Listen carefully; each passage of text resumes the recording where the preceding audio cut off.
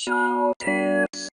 We're always on the lookout for ways to get more mileage out of our specialized appliances. Here are four ideas for baked desserts you can make quickly using a waffle iron. For all of these desserts, we used a Belgian waffle maker set to medium heat and sprayed it with nonstick cooking spray before using. You can use a waffle maker to quickly bake cake. Follow the mixing instructions on a box of cake and scoop the batter into a waffle maker and cook for about 90 seconds. Add mix-ins such as sprinkles, mini chocolate chips, or food coloring to your batter. The results have the texture of cake rather than a crispy waffle. It's delicious on its own, or you can frost it and serve with ice cream. For brownies, start with a boxed mix intended for an 8x8 pan. The instructions will call for one egg, but we found you'll need to add two extra eggs to adapt it for the waffle maker. Scoop and cook for about two minutes. The result is a brownie that is crispy on the outside and gooey on the inside.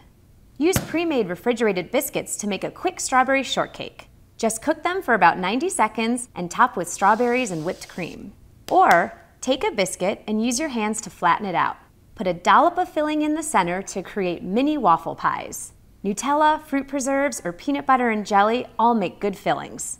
Fold the dough over and pinch the edges closed so it looks like an empanada. Then cook for about 90 seconds. Have you experimented with using your waffle maker to cook food other than waffles? If so, let us know. We'd love to hear.